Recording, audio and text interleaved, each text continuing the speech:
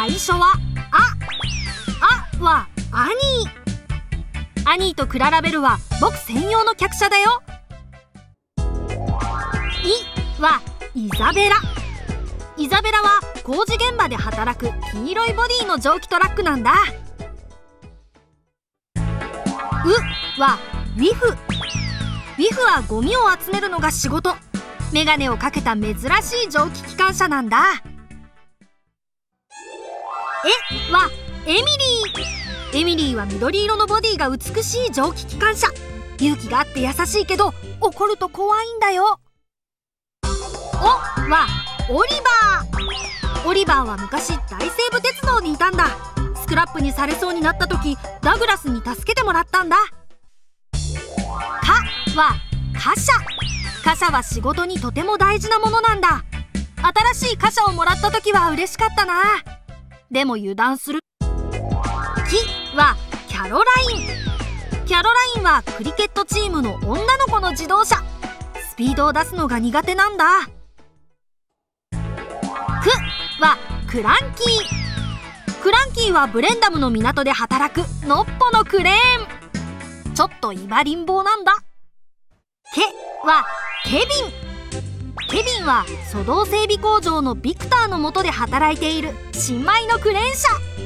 よく失敗をするんだ「コ」に点々をつけて「5」にするとそうゴードンだね。ゴードンは力が強くていつも急行列車を引いているんだ「サ」はサーハンデル。サーハンデルは鉱山鉄道の機関車。とっても滑らかに走ることができるんだ「し」に点々で「ジ」ジェームス。ジェームスは赤いボディが自慢だけどこの間ピンクに塗られて大変だったみたい「ス」はスペンサー。スペンサーは世界で一番速いと思っているけど僕だって負けないよ。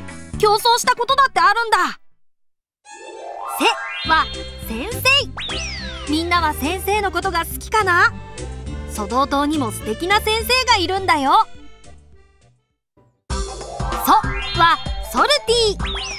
ルティは海と港が大好きなディーゼル機関車。そしてお話も大好きなんだ「タ」「タ」に点々でダッシュ。ダッシュはバッシュと双子の機関車。初めてミスティーアイランドで会った時はびっくりしたな「チ」はチャーリー。チャーリーは陽気で遊ぶのが大好き。僕もついつい乗せられて遊んでしまうんだ「つ」は翼。翼を持った仲間といえばジェット機のジェレミー。僕も翼が欲しいな。手に点々をつけるとでディーゼル10だディーゼル10はソドー島で一番の暴れん坊なんだよ。とそうとは僕トーマス。車体番号が1番の青いタンク式機関車なんだ。なはナップフォード駅。ナップフォード駅はソドー島で一番大きな駅。駅を飾る花を運ぶ仕事をエミリーが任されていたね。2は2階建てバスのバルジー。バルジーは事故を起こして鳥小屋にされていたんだ。ぬは濡れるのが嫌いなヘンリー。ヘンリーは緑色のボディが自慢の綺麗好きな蒸気機関車。ねはネビル。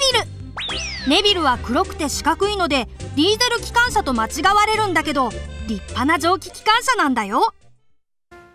のは乗り換え駅。乗り換え駅は僕たち大きな機関車から鉱山鉄道の小さな機関車に荷物や人を乗り換えるところな「は」に丸をつけて。パーシーだ。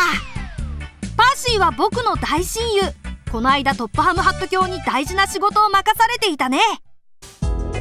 ヒはヒロだ。ヒロは鉄道の英雄。僕が壊れていたヒロを森で偶然見つけたんだ。フはフレディ。フレディは山の線路のことなら何でも知っている。でもそれでちょっとズルしたことがあるんだ。はヘクター。ヘクターは大きな石炭ホッパーの貨車。大声で怒鳴ってロージーを怖がらせたので僕は怒ってしまったんだ。穂に点々でボボックスフォード公爵夫妻。ソドー島に別荘を作ることになったんだけどスペンサーが働かないのでご機嫌が悪かったね。マはマイティマック。前と後ろに顔のあるとっても変わった鉱山鉄道の仲間。初めて会った時僕もびっくりしたんだ。ミはミスターパーシバル。ミスターパーシバルは鉱山鉄道の責任者。いつも自転車に乗ってやってくるんだ。ムは昔。昔ピーター・サムとサーハンデルは別の鉄道で働いていて違う名前で呼ばれていたんだよ。メはメイビス。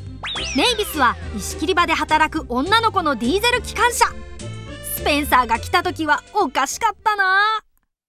モはモリー。モリーは黄色くて大きな女の子の蒸気機関車。僕が会いに行った時ちょっと元気がなかったね。何があったのかな。やはやれやれ。僕が失敗するとよく言われるな。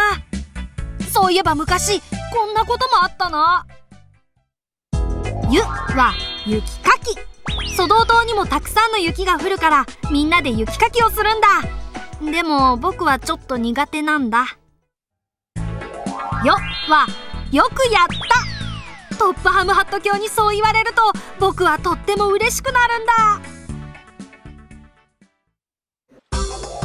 りは竜だ。竜はいつもお祭りで大活躍。子供たちの人気者なんだ。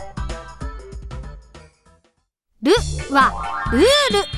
ルールをとっても大事にしているのが鉄道用牽引車のファーガス。ルールを守らないビルとベンに手を焼いていたね。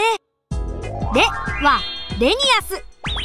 レニアスは鉱山鉄道の仲間。スカーロイととっても仲良しなんだ。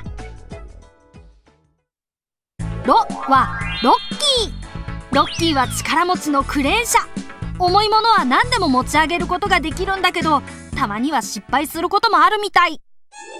わはわがまま。わがままといえばディーゼルのデイジー。